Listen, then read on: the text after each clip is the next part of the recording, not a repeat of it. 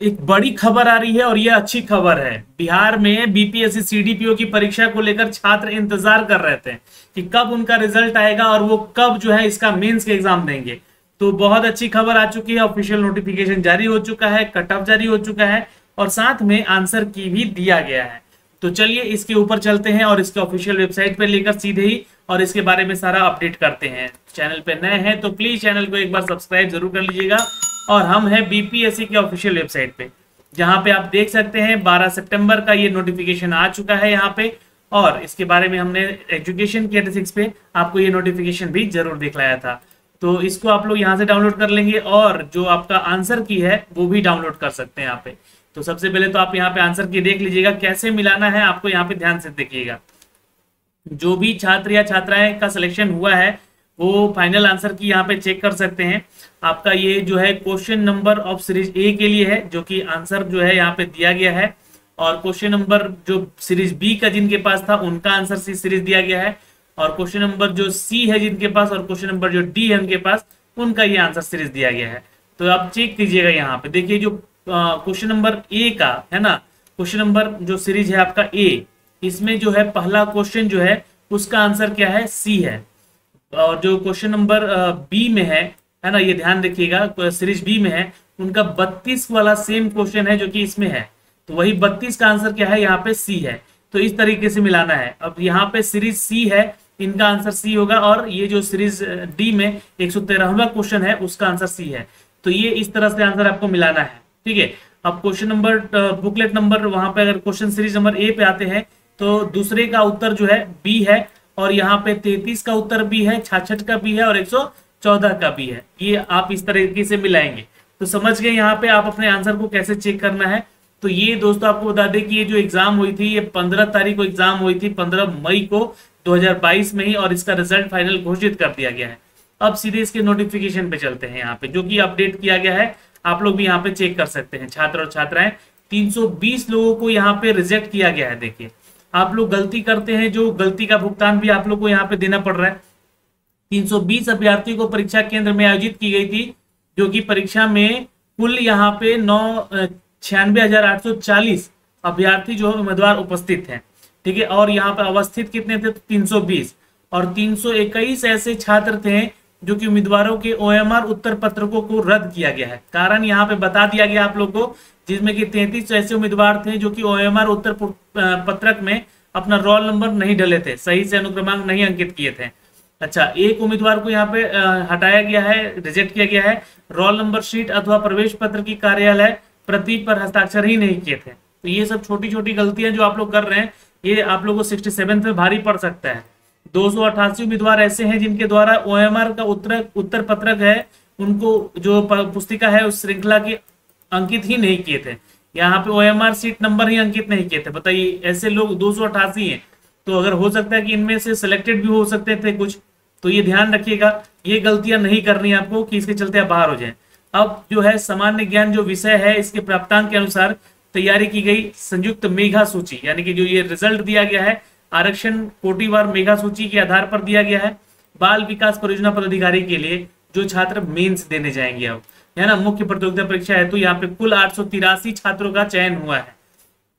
तो यहाँ पे पचपन सीट था, जिसके लिए जी हाँ आठ सौ तिरासी लोगों का चयन हो गया। यानी कि लगभग सोलह गुना यहाँ पे रिज़ल्ट दिया गया है। है ना, दस गुना बोला गया था कि दिया जाएगा रिज़ल्ट, लेकिन सोलह गुना दिया गया है। तो आप लोग अपना रोल नंबर यहाँ पे मिला सकते हैं। और एक हमारी छात्रा यहाँ पे प्रियंका का हुआ है रिज़ल्ट जिन्होंने अपना रोल नंबर भेजा था। और उनका रिज़ल्ट यहाँ पे हुआ है, बहुत ही अच्छी बात है, खुशखबरी है उनके लिए। गुड लक है उनको मेंस को लेकर।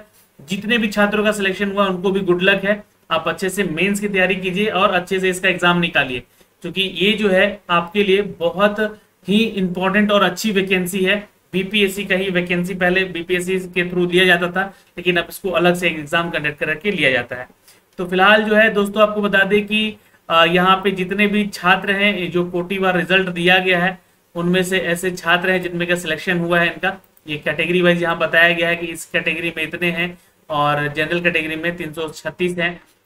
यहाँ पे जो कमज़ोर वर्ग से आते हैं एक हैं और जो अनुसूचित जाति से हैं, वहाँ पे एक है और अत्यंत पिछड़ा से पैंतीस एक है और पिछड़ा वर्ग से 120 है। यहाँ पे कोटिवार सिलेक्शन हुआ है। टोटल यहाँ पे आठ सौ तिरासी उम्मीदवारों का चयन कर लिया गया है। अब ये जो आठ उम्मीदवार हैं, इनमें से दिव्यांगत भी हैं, यानी कि जो पीएच कोटे से आते हैं, जैसे ग्यारह छात्र हैं जिनको यहाँ पे सिलेक्टेड किया गया है। अब यहाँ पे एक उम्मीदवार जो एक व्यक्ति थी यहाँ पे स्वतंत्रता सेनानी के विरुद्ध में, जिसके लिए यहाँ पे दस उम्मीदवारों को सफल घोषित किया गया है। तो दस गुना रिज़ल्ट एक वैकेंसी थी, यहाँ पे दस गुना रिज़ल्ट इनको दिया गया है। तो दस उम्मीदवार यहाँ पे आए हैं, दस गुना यहाँ पे आधार पर। ठीक है? तो ये ध्यान रखिएगा। अब यहाँ पे जो कट ऑफ़ दिया गया है, ये आपका कट ऑफ़ है अनरिजर्व यानी कि जनरल कैटेगरी को लेकर 105 है। अब देखिएगा थोड़ा सा कट ऑफ़ का खेल यहाँ पे किया गया है। कट ऑफ़ का जो खेल है 105 यहाँ पे देख सकते हैं, और बीसी कैटेगरी में आप मेल कैटेगरी को देखते हैं तो 103 मात्र दो नंबर का फ़र्क है। तो आप लोग सिक्सटी सेवेंथ बीपीएससी अगर आप देने जा रहे हैं तो थोड़ा सावधान रहिएगा। आप कैटेगरी में होते हुए भी बाहर हो सकते हैं। ठीक है? और अनरिजर्व फीमेल का अगर बात करें तो सौ है यहाँ पे। ये ध्यान रखिएगा। और वहीं पे बीसी फीमेल को लेकर अंठानवे है। तो यहाँ भी दो नंबर का फ़र्क है। अब देखिए कट ऑफ़ इतना बगल मतलब अगल बगल में क्यों है? एक एक नंबर दो दो नंबर से कट ऑफ़ का यहाँ पे सिनारियो इसलिए है, क्योंकि देखिए वैकेंसी के लिए लगभग डेढ़ लाख छात्रों ने रजिस्ट्रेशन किया था। है ना? जिनमें से कि छियानवे हज़ार लोगों ने इसका एग्ज़ाम दिया। अब इस छियानवे हज़ार में से जो उपस्थित हैं, इनमें आपका कट ऑफ़ डिसाइड किया गया है। तो ये बड़ी तादाद है। क्योंकि वैकेंसी यहाँ पे पचपन है और एक लाख लोग लगभग एग्ज़ाम दे रहे हैं। तो ज़ाहिर सी बात है कि कट ऑफ़ तो हाई जाना है यहाँ पे। और यहाँ पे बाकी एक ईडब्ल्यू e की बात कर ले तो 102 है और वहीं पे अगर हम बात कर ले दोस्तों, यहाँ पे ईबीसी e का तो सेम यहाँ पे कट ऑफ़ है। तो आप जनरल ईडब्ल्यू में हो या EBC female category male category में हो, कोई फ़र्क नहीं पड़ता यहाँ पे, ठीक है? छियानवे यहाँ पे जब एससी का कट ऑफ़ गया है तो छियानवे यहाँ पे ईबीसी फीमेल का कट ऑफ़ देख सकते हैं यहाँ पे, है ना? ये मैं कट ऑफ़ आप लोगों को क्यों दिखला रहा हूँ? बस सचेत रहिएगा। सिक्सटी सेवेंथ में भी यहाँ पे नौ लाख से ऊपर छात्रों ने फॉर्म भरा है। सॉरी छह लाख से ऊपर फॉर्म भरा है। और फॉर्म का संख्या कितना है? सीट का संख्या कितना है? तो सीट का संख्या मात्र यहाँ पे कितना? 802 है। समझ गए? तो कंपटीशन यहाँ भी टफ होगा। टारगेट 120 का रखिएगा। 120 टारगेट रखिएगा कि 120 क्वेश्चन एक्यूरेसी में रहे, तब जाके आपका कहीं ना कहीं पीटी में सिलेक्शन होगा। तब आप मेंस के लिए क्वालिफाई होंगे। तो यही इसी कारण से मैं ये कटअप आपको यहाँ पे दिखला रहा हूँ।